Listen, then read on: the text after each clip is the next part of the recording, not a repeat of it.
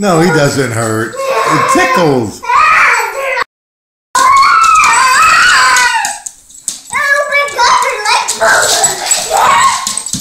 Oh my God,